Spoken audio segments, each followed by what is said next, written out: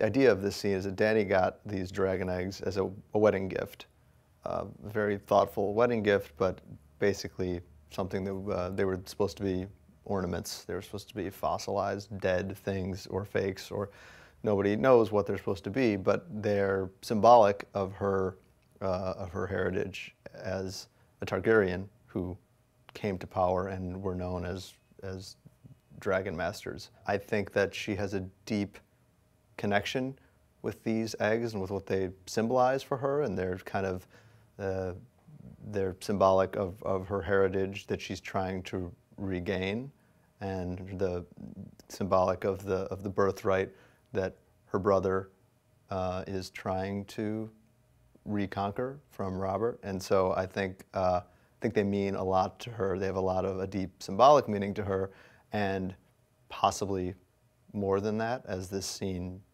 as the scene shows.